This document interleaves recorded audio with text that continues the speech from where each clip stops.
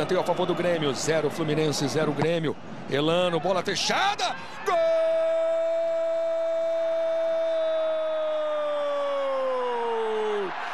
É